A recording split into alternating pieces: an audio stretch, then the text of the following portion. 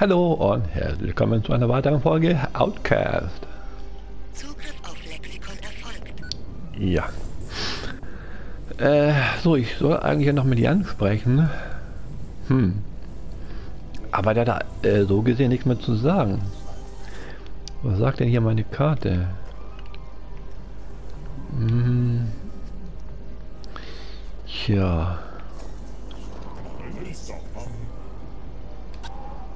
Jan, das ist dunkel. Süße, mit denen kann ich ja gar nicht mehr reden. Mit denen auch nicht.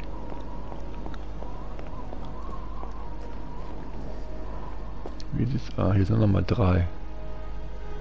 Wie sieht's mit dir aus? Ah, grüßen. Verzeihung, Kumpel. Hallo. Sei gegrüßt, Ulukai. Ich bin gerade aus Okasanka zurückgekehrt und freue mich zu sehen, dass es dir gut geht. Woher? Aus der Region Okasankar. Ich war dort, weil ich Okar, die Region, in der wir dich gefunden haben, als letzter Wächter verließ. Es war meine Aufgabe, alle Spuren zu beseitigen, die die Krieger zu uns führen könnten. Aha. Was kannst du mir über diese OK-Region erzählen? Das ist die Region, in der wir dich gefunden haben, Ulukai. Kazar hatte prophezeit, dass du in dieser Region ankommen würdest, und viele Monde lang haben wir uns zwischen den Bäumen versteckt, um Kroaks Kriegern aus dem Weg zu gehen. Wir hatten schon alle Hoffnungen aufgegeben, als wir plötzlich das helle Licht deiner Ankunft erblickten. Und was geschah dann? Du bist in der Nähe einer Gruppe von Kriegern gelandet. Fast hatten sie dich entdeckt, als wir sie angriffen und schließlich vertrieben. Ihr habt sie angegriffen? Nur mit Betäubungspfeilen und anderen harmloseren Mitteln. Wir kehren niemals andere Talaner um. Danach wurdest du in Sicherheit gebracht. Nur ich blieb zurück, um unsere Spuren zu beseitigen. Diese Region ist sehr gefährlich und voller Geheimnisse. Was für Geheimnisse? Man erzählt sich, die Ruinen in dieser Region seien Überbleibsel der Altehrwürdigen. Ich habe das immer angezweifelt, bis ich selbst dorthin kam, um deine Ankunft zu erwarten. Während der Monde, die wir uns dort versteckt hielten, sah ich etwas, wovon ich glaubte, dass es ein Daoka war, allerdings ein sehr großes. Im oberen Teil befanden sich Symbole für einen Ort. Solche Symbole habe ich noch niemals zuvor an einem Daoka gesehen. Aber ob meine Vermutung stimmt, werde ich niemals erfahren. Warum nicht? Dieses Daoka war kaputt, wenn es überhaupt ein Daoka war. Meine Begleiter vermuteten, es sei eine Art Monument. Die meisten Talaner glauben nicht an die Geschichten mit den Altehrwürdigen, aber ich finde Gefallen an der Vorstellung, dass sie existiert haben sollen. Zugriff auf Lexikon erfolgt. Okay, wieder was Neues. Und dann haben wir noch die Okasanka. Erzähl mir etwas über dieses Okasankar. In dieser Region gibt es sehr viel Wasser. Die Stadt Cyana wurde um einen Berg herum gebaut, der hoch über das Wasser hinausragt. Viele sagen, in der Region habe es vor zahllosen Monden überwiegend Berge gegeben, aber die Jods seien wütend geworden und hätten sie mit Wasser aufgefüllt, um die Altehrwürdigen von dort zu vertreiben. Die Altehrwürdigen? Es gibt viele Geschichten über sie, und sie sind alle verschieden. Seither sind so viele Monde vergangen, dass kein Talaner mehr weiß, ob sie wirklich existiert haben. Was kannst du mir über sie sagen? Der bekanntesten Geschichte nach hat es am Anfang zwei Rassen gegeben, die Talaner und die Altehrwürdigen. Die Jods haben beide Rassen dabei beobachtet, wie sie ihr Leben auf Adelpha gestalteten. Als die Jods sahen, dass die Altehrwürdigen Adelpha Schaden zufügten, handelten sie schnell, um Adelpha von ihnen zu befreien. In ihrer Wut kehrten sie auch viele Talaner um, aber ein paar, die überlebt hatten, redeten mit den Jods und versprachen ihnen, dass sie Adelpha niemals wieder schaden würden. Und du glaubst diese Geschichte nicht? Ich weiß nicht, Ulukai. An manchen Monden nicht. Aber dann denke ich über die Daokas und andere Gegenstände nach, von denen kein Talaner weiß, wie sie nach Adelpha gelangt sind, und ich bin mir nicht mehr so sicher. Zugriff auf Lexikon erfolgt. Okay. Haben wir sonst noch irgendwas hier? Nein. Den haben wir auch schon. Äh. Hm. Gut, dann haben wir ihn. Den haben wir ja auch schon alles. Das, ah, jetzt muss er hier.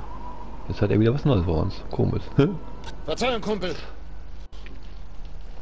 Sag, äh, kannst du mir etwas mehr über deinen Vater erzählen? Er ist ein mächtiger Stammesführer. Und wenn die Dinge in Adelpha anders lägen, wäre er der Herr aller Dolotai-Wächter.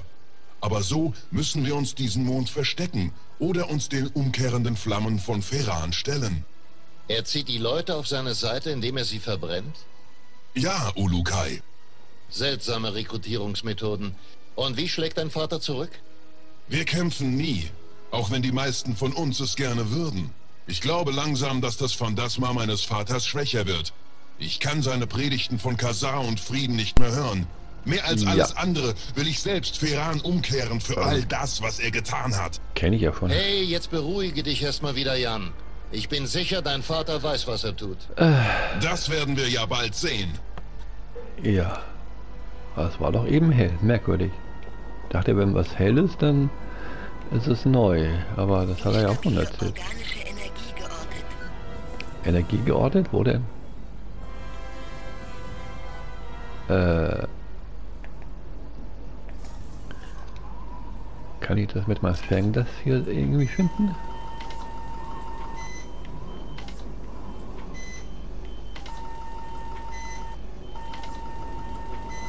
Hm.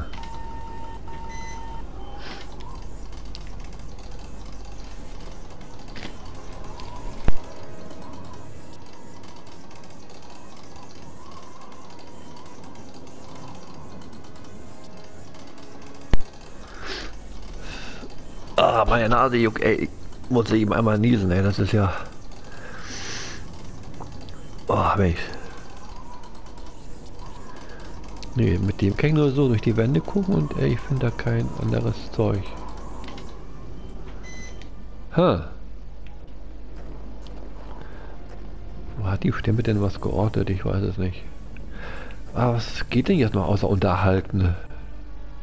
Das ist komisch. Hier ist auch alles dunkel. Fertig zum Aufbruch, aber das hatten wir ja auch schon. Hey, Knirps! Also, wie komme ich von hier weg? Hast du Jans Prüfungen bestanden, Ulukai? Na klar. Er sagt, ich hätte glänzend abgeschnitten. Jetzt sollte ich mich aber auf den Weg machen. Wie du willst, Ulukai. Aber bevor du gehst, möchte ich dich an unsere Vereinbarung erinnern. Du findest die fünf Mons und wir werden versuchen, das zu finden, was du suchst. Das genügt mir fürs Erste. Aber es steht außer Frage, dass ich zuerst meine Mission erfülle, sobald ich diese Sonde finde. Verstanden? So soll es sein, Ulukai. Der Weg zum ersten Mon führt dich nach Shamasar, in die Region hinter dem Daoka in unserem Lager. Dort angekommen, solltest du Shamaskep aufsuchen. Du findest ihn wahrscheinlich weit westlich des Daokas, durch das du in diese Region eintrittst. Klingt vielversprechend. In den anderen Regionen musst du ebenfalls jeweils einen Shamas aufsuchen. Sie sind die einzigen, die dir bei der Suche nach den Mons behilflich sein können. Also brauche ich mich nur an diese Leute zu wenden? Andere werden versuchen, dir zu helfen, Ulukai. Auch ein Fühler könnte dir behilflich sein. Ich glaube, sie haben das Geheimnis deiner heiligen Gegenstände ergründet. Die Fühler? Ja, sie und alle anderen werden dir helfen. Ich hoffe nur, du kannst auch auf die Hilfe der Stammesführer zählen. Stammesführer wovon? Der vielen Regionen, in denen Rohstoffe für die Krieger von Feran und Kroax abgebaut werden. Ich habe mit einigen von ihnen gesprochen, aber sie weigern sich, die Arbeit für Feran einzustellen. Tun Sie es denn gerne? Nein, Ulukai. Sie fürchten sich einfach vor seiner Rache. Oder sie sind zu dumm, um zu verstehen, was wir damit bezwecken wollen. Tja, wenn ich die Zeit dafür finde, werde ich mal sehen, was ich da tun kann. Ich weiß, dass du sie zur Vernunft bringen kannst. Du trägst das Symbol des Ulukai und alle werden wissen, dass deine Worte von großer Bedeutung sind. Also das bedeutet es. Ich dachte schon, einer eurer Leute hätte mich mit einer Leinwand verwechselt. Sei auf der Hut, Ulukai. Jetzt, da deine Existenz bekannt ist, wurden viele Krieger ausgesandt. Du solltest dich vom Fehtempel im Zentrum von Shamasar fernhalten, denn dort gibt es sehr viele von ihnen. Bleib im südlichen Teil von Shamasar. Danke für den Hinweis. Du solltest auch wissen, dass dich die Wächter beobachten werden. Wenn du die Prophezeiung des Ulukai erfüllst, werden wir dir helfen. Aber wenn du es nicht tust, wirst du unseren ganzen Zorn erfahren. Alle Talaner werden über deine Taten informiert sein und dich so behandeln, wie du sie behandelst. Und du solltest nicht vergessen, dass ich die anderen und diese Sonde finden muss. Dann werden wir prima miteinander auskommen. Gut. Ich werde jetzt das Daoka für dich aktivieren. Mögen die Jods mit dir sein, Ulukai. Zugriff auf Notepad erfolgt. Ja, möge die Macht mit mir sein oder so. Medizinische Ausrüstung geortet. Okay, das heißt, jetzt komme ich hier wohl. Jetzt komme ich hier langsam mal raus, was? Das Alter. Wie lange bin ich hier schon am Reden mit denen, ey? Mein Gott, das ist ja schon ewig. Dann machen wir diese Stargate hier mal an, ey. Ja, bin ich ja mal gespannt, wo ich da hinkomme. So, 926X, 926X, so, oder so. Irgendwas tippt er da ein. Hallo Jan. Was sagt er? Ah, okay.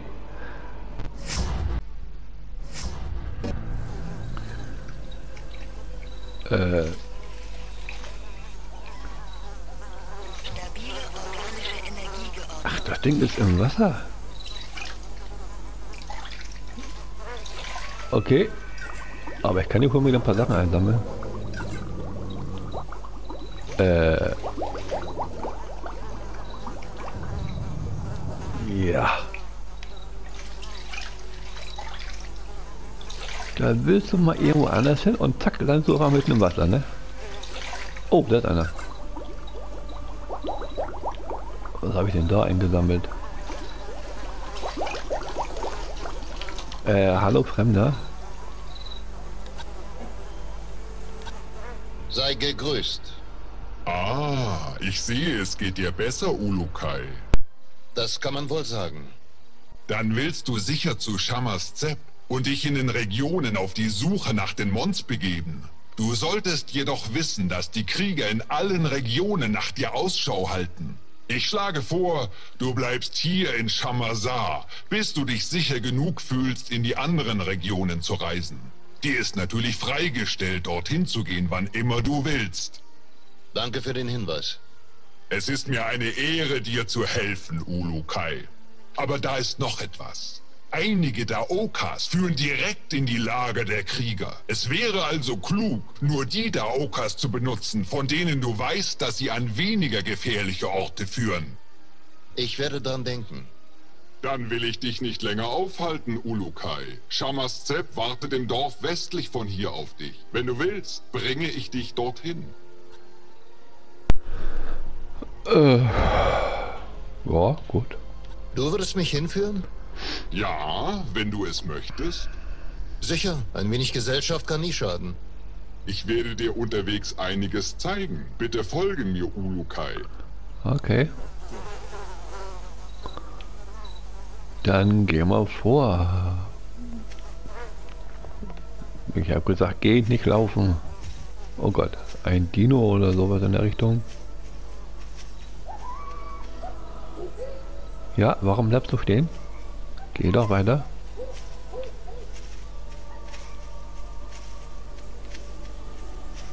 Zwei Planeten da sind noch zu sehen.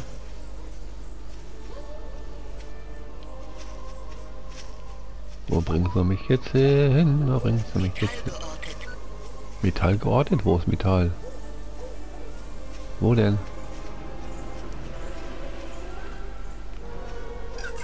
Ah, hier.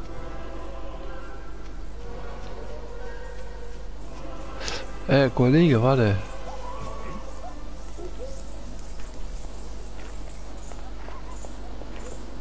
Okay, hier ist nur eine Art Sumpf oder irgendwie sowas. Ein Weg. Ja, bleibt doch nicht stehen. Warnung. Schwache Energiequelle geortet. Okay. Was sagt meine Karte? Scan, scan, scan. Okay. Ui, die ist aber groß. Viele rote Punkte und äh, ja. Okay, das Gelbe vor uns scheint dann wohl das Dorf zu sein. Also immer nur geradeaus. Okay. Mal sehen, ob ich da recht habe. Oder nicht, sagt man gleich das. Ja, ich komme ja von. Ich bin doch noch neu hier. Da hoch? Okay. Ähm, Da ist dann die Sonne. Kann man da etwa hoch? Aber wenn ja, hm. wie und wann komme ich da hoch? Egal.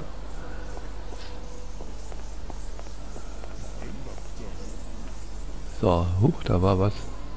Ach, das ist irgend. Ja, ich komme ja schon, Mensch. Nördlich von hier liegt der Fee-Tempel, wo viele von Kroaks Kriegern stationiert sind. Es ist besser, ihn zu meiden, Ulukai. Warum? Ah, scheint ein guter Rat zu sein.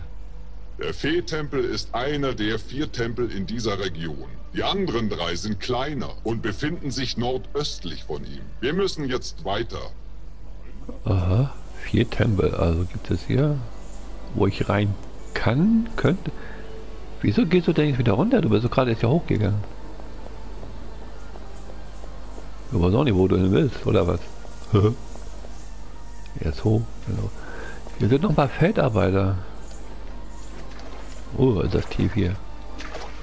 Kann man auch mit dir reden? Hallo? Oh, ach du Heilige. Ja gut, fange ich mal hier oben an bei Kassar. Verzeihung. Weißt du etwas über Kazar? Er war ein großartiges Wesen. Sein Wissen und seine Güte bescherten uns Talanern tausende von glücklichen Monden.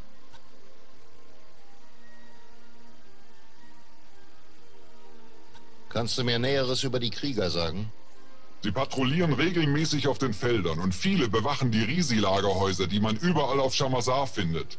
Aber die meisten von ihnen sind ohne Zweifel im Fee-Tempel.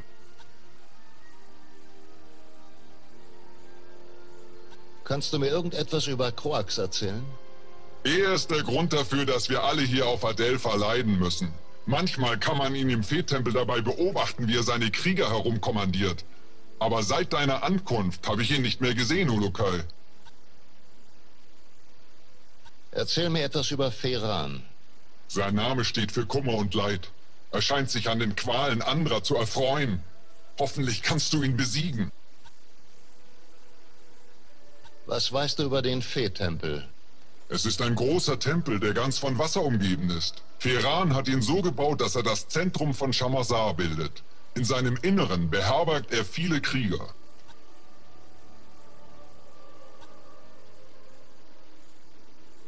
Weißt du, wo ich Shamas Zep finden kann? Schau dich südwestlich von hier um, Ulukai. Ich habe gehört, er ist irgendwo dort, aber ein gutes Stück entfernt. Weißt du, wo ich einen Fühler finde? Ich habe gehört, er ist südwestlich von hier. Du musst viele Schritte in diese Richtung gehen. Äh, viele Schritte. Ja, schön. Fühler, das haben wir. Was noch? Alles, äh, habe schon alles durch hier. Äh, gut, 20 Minuten auf der Uhr. Es wurde immer noch sehr, sehr viel gesammelt, gelabert, gesprochen. Und, äh, ja, da mache ich nächstes Mal hier weiter, ne? Mal gucken. Es geht langsam voran, aber ja. Dann bin ich mal gespannt auf die nächste Folge. Ich hoffe, du auch. Dann macht ihr noch einen schönen Tag und Abo oder was auch immer. Und dann bis zur nächsten Folge Outcast. Mach's gut. Bye, bye.